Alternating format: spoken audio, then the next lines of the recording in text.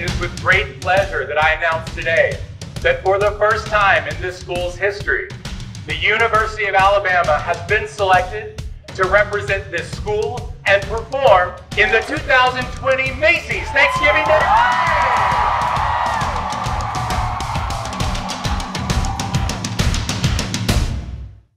Because of the pandemic, there are major changes for this year's Macy's Thanksgiving Day Parade.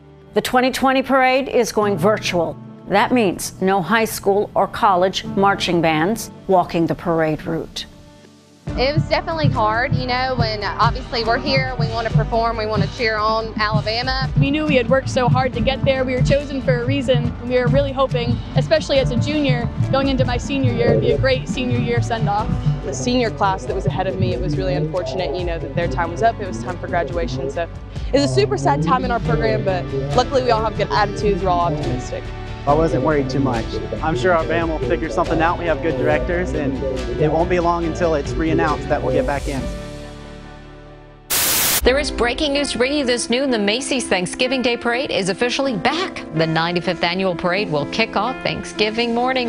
I'm just so excited to go to New York. Macy's has been around for so long, and to have the honor to be able to go, I mean, that's just like a dream come true. It's just going to be so crazy to be on live TV and participate in this huge parade that I've watched all my life and never would I have dreamed to be going to perform in Herald Square. I'm a senior, so it's really exciting that my last marching band season is going to get to be in New York. Like, I feel like every marching band student dreams of going to New York and marching in Macy's. Getting to go to Macy's on my senior year, I mean, what better way to end it, right?